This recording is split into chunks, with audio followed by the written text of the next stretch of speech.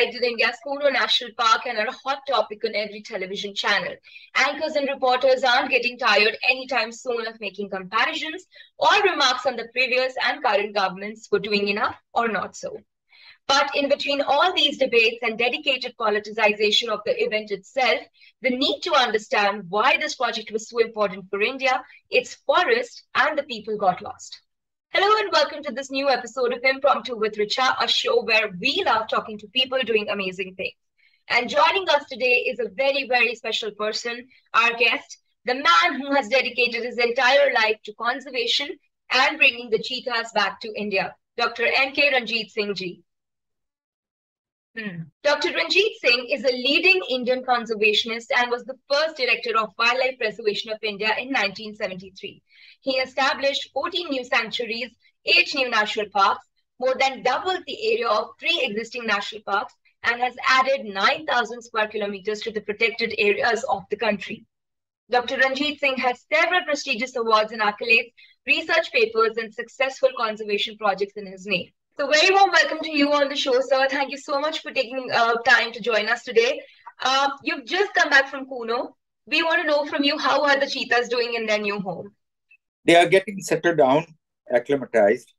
They have gone through the trauma of transfer from um, a over 24 hour journey and a, transloca- a transfer from a big plane to a uh,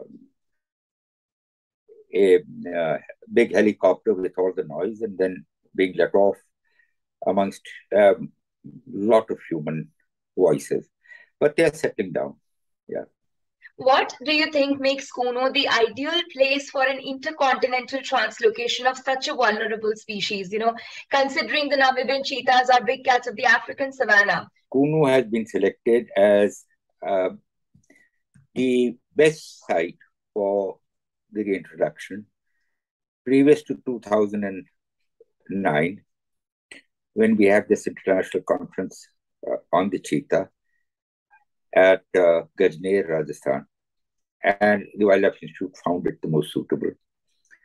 After the stoppage and the restart of the project by another Supreme Court order in 2020, it was again found the best site for India in India. And uh, the experts, cheetah experts, both Namibia and uh, South Africa, have been satisfied with it. But please remember that this is just one of the sites, the first site, where because it was established as a sanctuary way back in 1981, and secondly, it has been upgraded because it was hoping to get the lion and the, tra- the, tra- the, the translocation of 19 plus villages took place the habitat greatly improved and the, the, the protection increased. So it became a better habitat. And uh, it today the best site um, unequivocally. But as I said, there are three other sites where it must, uh, the cheetah must be put in. Only then we can say that uh, we have a better population and that uh, it's not confined to just one sanctuary or park. And there are two places like this uh, which need to be upgraded, both uh, in in Madhya Pradesh and one in Rajasthan. You you talked about the reintroduction of lions in the forest, but don't you think this can sort of uh, risk the lives of cheetahs that have just been brought from Namibia? Because if I'm not wrong, in the African wild, cheetahs are often killed by bigger cats like lions and leopards, and sometimes other animals like hyenas also during survival battles. So, what are the chances that a deadly battle like this can also happen with our cheetahs once they're released in the open, given that we already have a very big leopard and tiger count in the forest of MP? Look, uh, um, the threats that it faces we do not have, luckily, the packs of uh, hyenas, which are a major enemy in Africa. We have single hyenas, which are no threat striped ones. We have no wild dogs in any of these areas, uh, not in Kuno, not in Mukundra, not in Gandhi Sagar. So that is not there. There is no tiger in Kuno at the present moment, but it's welcome back. There is no lion. There is the leopard, which is the least of the problems. Okay. Yes, the leopards are there, and the leopards are there because there are no tiger. They have enhanced their thing. They have uh, utilized the empty niche, as they say. And there will be confrontation. but are we going to be chicken-hearted about it? Is there no is there no confrontation in the wild? We should be prepared for casualties. It happens.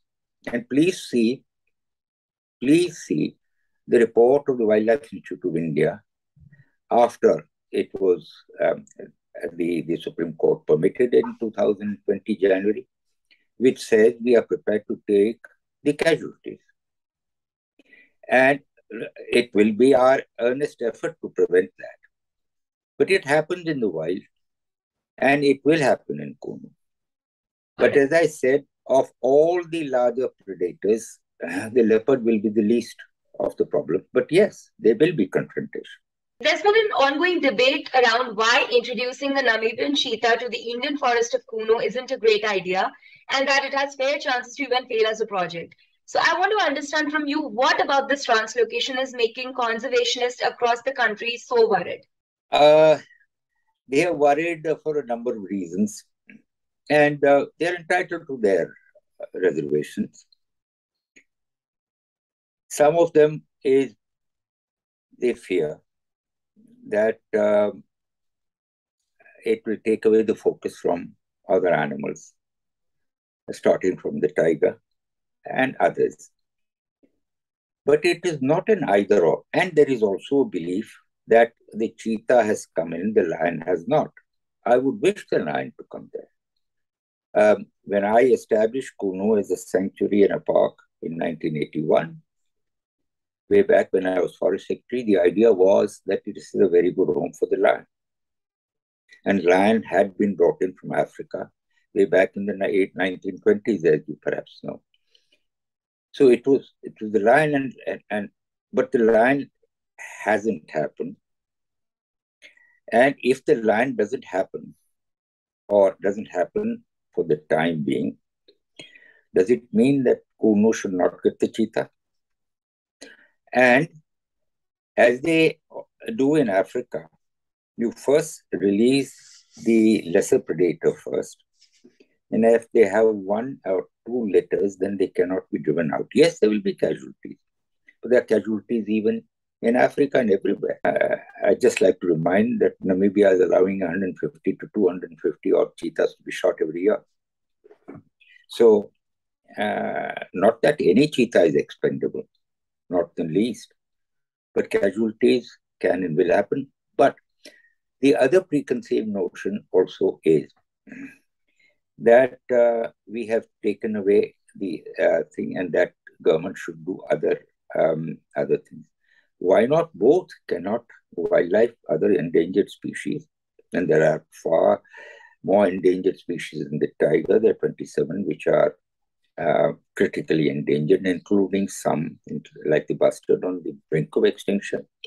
So it's not that they, if the government didn't do this, they shouldn't do that, mm. or that they won't do that. And I asked the other question: What uh, what did the government do when the the Supreme Court stopped the arrival of the cheetah in 2013 for the nine subsequent years till it was reopened. What did it do extra? And what will it therefore not do now that the cheetah have come in? It's neither, it's not either or, either for other endangered species or for the lion. I'm all for that. It is not, not a substitution. This is an addition. It gives a new, another new dimension to conservation of India in India. Mm, makes sense.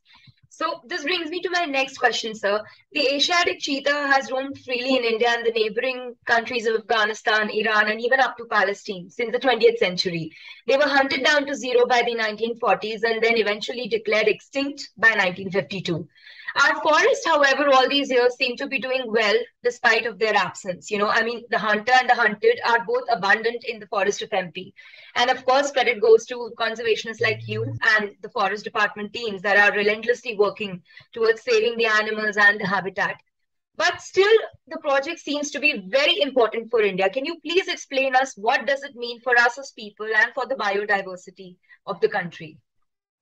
I would first like to make a correction that they were hunted out of ex extinction. Yes, hunting uh, uh, uh, was a very important factor, but a, a greater uh, reason for their decimation, decline, and ultimate extinction was the, the, the diversion and decimation and destruction of their habitats, and more importantly, their prey species. Hmm. That caused the greatest damage.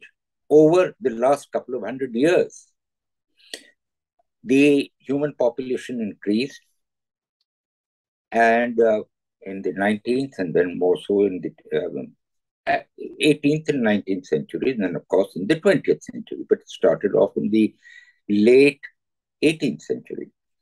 Uh, and the 19th century, you must remember, the cheetah were vermin.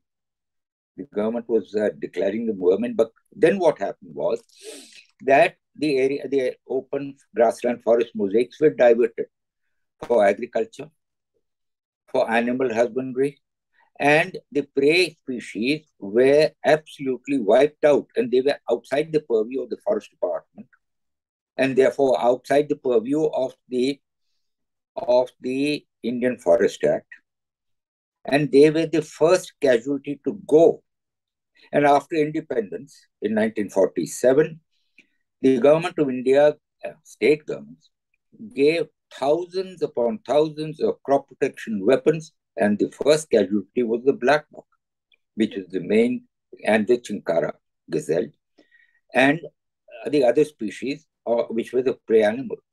My PhD is on the black buck, and I have um, tabulated that in the 10 year period from 1948 to 1958, the black buck population of the of the area of Saurashtra where I come from, the black buck population had uh, plummeted from over 80,000 to less than 2,000 in 10 years.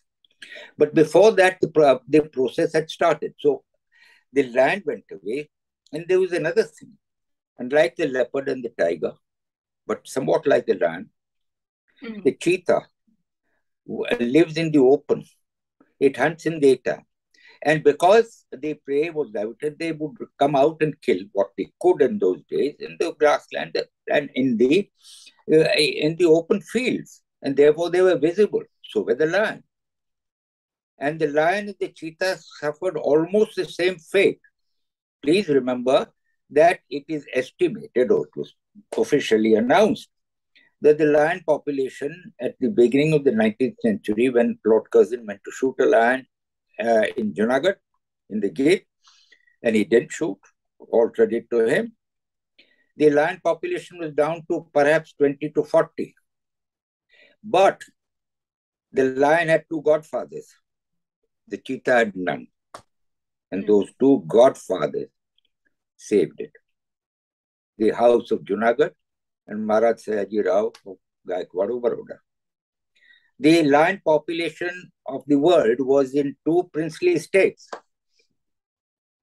And they they saved the lion. Wow. But the cheetah, it was too late. As I said, no godfathers for the cheetah till now.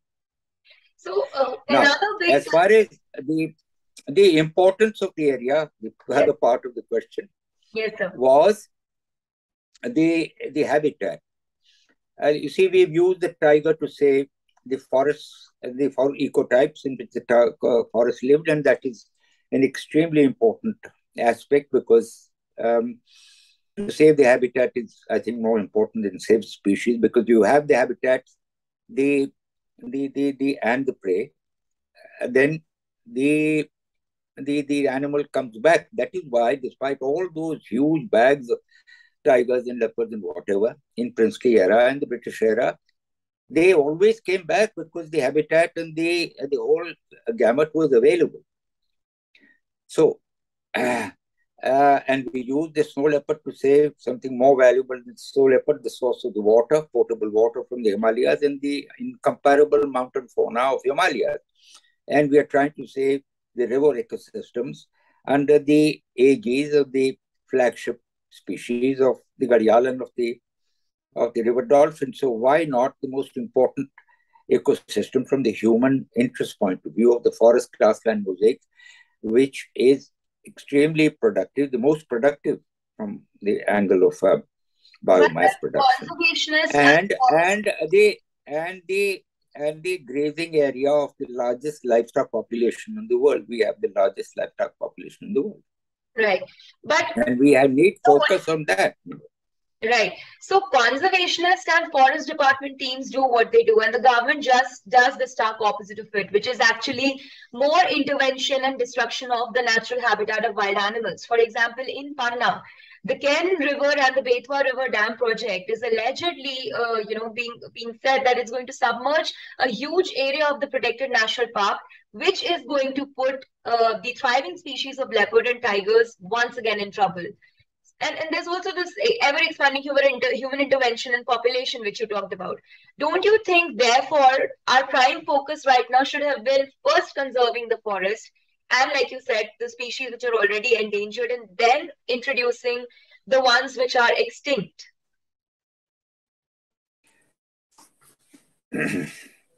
again the same question why there should it be either or why not both hmm. Is the government incapable of both? Am I being given the choice? Or is there a choice? No. Are you going to tell me? Are you going to tell me? Uh, look, look, if honestly, if somebody was to ask me the power, party in power, what would you like more? To save the forests of India or to bring the cheetah? Unhesitatingly, I'll say the national heritage of India already exists in the national park sanctuaries and the forest ecosystem, no question. But why should it be either or? Why not both? Yes. And as far as Panna is concerned, I, I'm on record. I was then a member of the State Wildlife Board of Madhya Pradesh, no more. Thank God. because I would be a because I would be a misfit. Anyway, anyway, uh, the the uh, I'm on record to say that there is no water in the Ken. The dam down below is working at 23% of the so-called installed capacity. And I'm on record to say that you will have neither the park nor pani. But yeah. yet people like me get overruled. The wildlife boards the are supposed to rubber stamp are, are, are, are really used as rubber stamps, I regret to say. Yes. And uh, and it was passed. And look, in the you cannot have development unless you conserve your national natural because these are do you know that that 395 400 perennial streams come from from national parks and sanctuaries. Some of the most important rivers come from our forest area, and they give the most important commodity next to oxygen, potable water. So you need to protect that. You need to protect our catchment areas and our parks and sanctuaries. Yes. How can you? How can they be put? And they could be uh, diverse. And I keep on saying this would you divert or would you blast or build a road through the Taj Mahal? Would you blast for diamonds below the Kandariya Mahadev temple or under the Ajanta? Then why through Kanha and Kaziranga and the rest of them? It's all about priorities and our understanding of what's important to us. No, certain, look, conservation is the art of the possible. There is life is a compromise conservation, but there are certain Rubicons that cannot be crossed. Mm-hmm. certain Lakshman Rekhas that must not be broken. So, from what I understand, the cheetah needs a very large space to sort of, you know, thrive and survive both. And with such projects that happen, can we possibly imagine to have a huge protected and conserved forest, you know, uh, in the near future for these animals? The cheetahs will go out of wherever they are, Kuno, Nauradehi, mm. or uh, or uh, because we don't want to keep them in fenced areas. Yes, initially they'll have to, but they have to go out.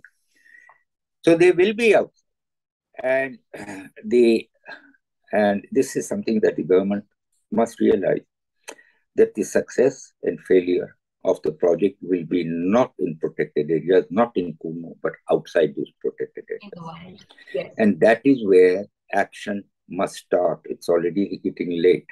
Hmm. And that is where you need to involve the local people. Look, despite all the damage that the lions do in the Gir, it is the pride of the local people. They say, and it is wonderful to see that, that they have a right to live too. That this area belongs to them as much as to the humans. And they tolerate that. With it must, so that kind of pride, that kind of ownership must happen. But with it must come immediate compensation hmm. without any kickbacks. They must be compensated for any damage due. And I must say this that of all the um, prey species, of all the carnivores, the cheetah will pose the least problem to humans because they don't kill human beings, they do not kill cattle yeah. like the others do. Beyond the smaller animals. Only thing they will kill is, is sheep or goats. Hmm. So those are the ones that have to be compensated. Otherwise, there should be no human count, but they must be protected outside. And not just the forest department. And this is not just, as I said to the state government, this is not just the role of only the forest department of the state of Madhya Pradesh is the role of the administration.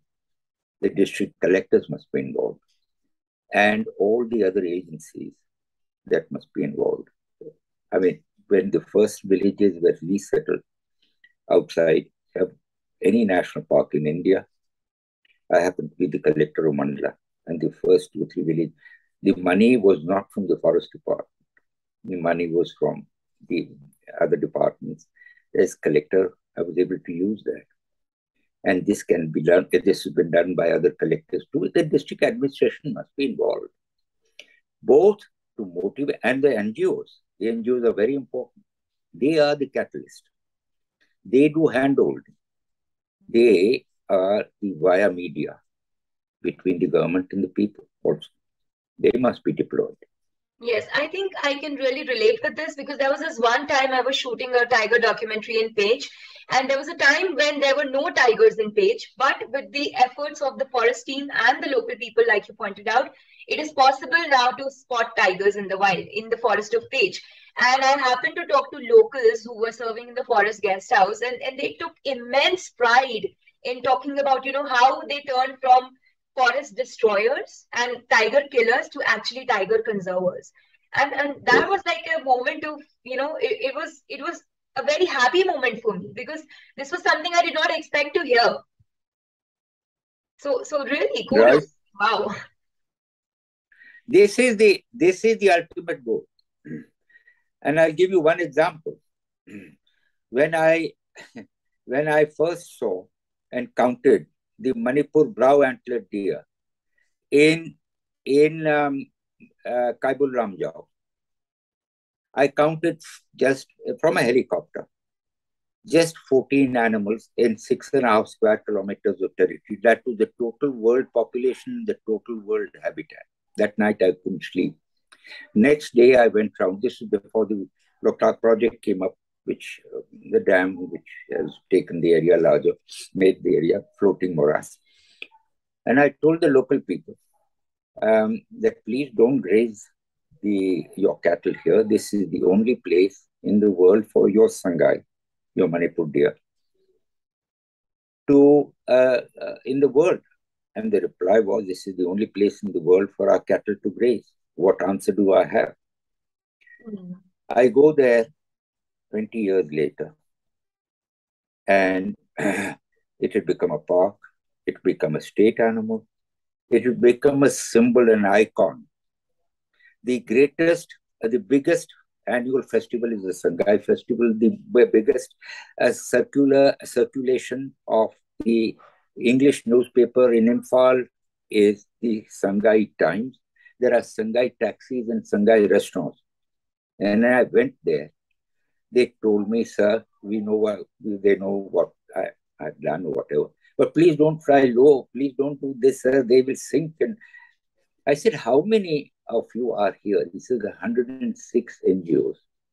Wow. The people of Manipur will now, uh, Ibobi, uh, the great Manipuri dancer, converted into the Manipur. Manipur has a very good, important dance school. Yes. They made it a, a new dance, the dancing deer. And uh, they especially invited me and whatever. And, and now it has become a pride. The people of Manipur will not allow it to go extinct.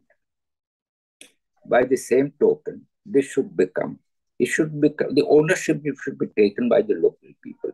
That's the job of not just the forest department, of the government as such, and of the NGOs and of the media. Yes. Including yourself. So that's why it's very important to create the emotional connect. You know, that's how people understand what is important and what needs our first priority. And, and I think that's what you're also talking about.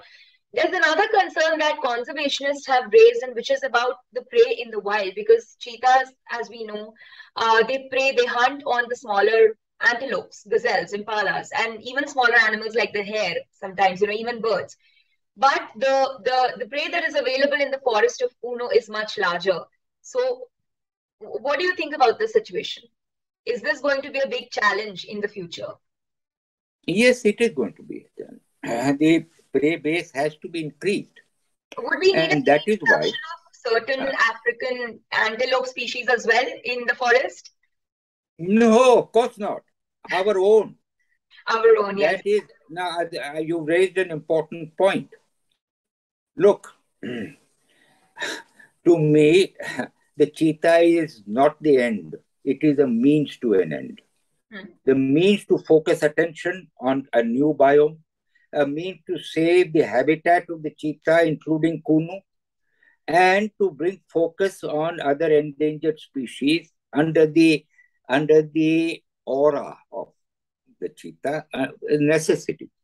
Look, uh, there are nilgai which are vermin outside. Yes. There are black buck who are creating problems outside. Mm. We haven't got today the technique of capture and translocation of these species. We know how to translocate cheetah because cheetah are a forest animal yes. and the forest department knows it. But these other animals, like I said, the black buck and the nilgai are living outside and the, the government the forest department hasn't evolved today. So, a very important concomitant that I've been harping upon and is now being accepted is that under the under the umbrella of the Cheetah project, we bring in the South African expertise. Mm. The South Africans today are the greatest experts of group capture, mass capture of ungulates and translocation there is one person who's translocated more than 20,000 animals.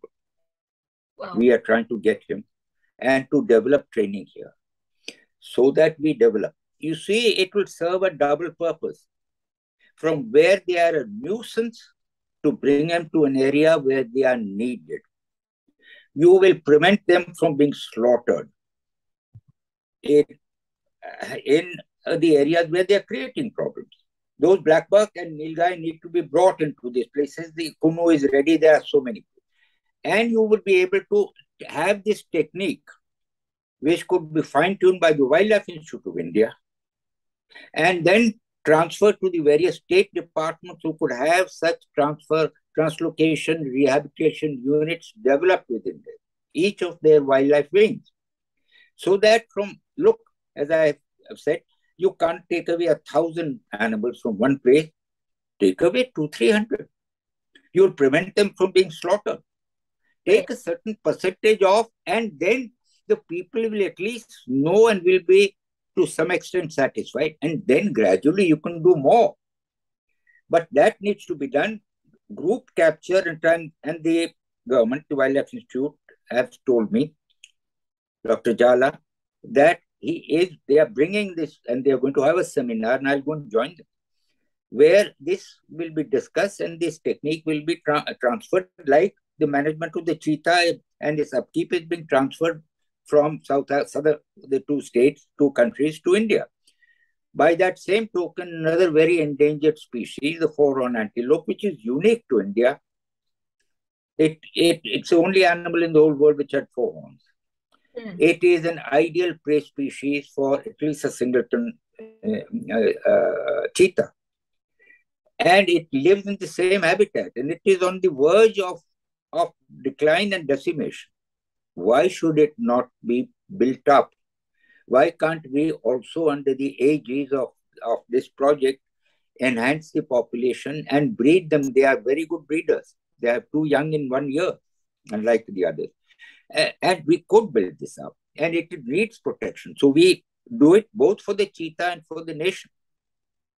The breeding back of the foreign, and then the most endangered mammal in this country today is the caracal. Less than 100 left only in two places.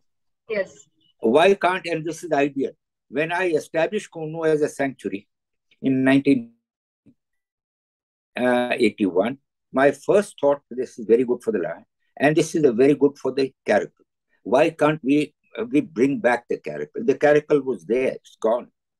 We right. should bring it back because the uh, its prey is there. The prey has come back. I saw any number of ground laying birds. I saw hares, and there are uh, peacocks and whatever else. I would want you to give us a quick answer to this question, which is about the human uh, population which was relocated entirely from around Kuno. What will happen to these people? Where are, where are they going to be moved? Because I think they've lost their homes and they've lost their livelihoods as well. What happens to these people? Look, no more villages are going to be shifted. They have already been shifted. Mm-hmm. They have been resettled okay. already. And they are happy because now the government is giving a very good package. When I started the process way back in 69, at that time we, uh, because I was the collector, I could give, and the Forest Conservation Act was not there, we could, they were asked to select the site and we gave them twice the land they had. We did the free transport, we did what we can and as we as we said, it has to be voluntary. It has to be voluntary. As the Americans say, they should be given a package they can't refuse. Yes. Yes, sir. Got it. All right, sir. Thank you so much for this wonderful conversation today. You gave us a lot of powerful insights and a lot of learning about the wild animals as well. And we really hope that the project is a huge success for India and for you and the entire team that has made this project possible for us. Thank you so much, sir, once again. Thank you very much.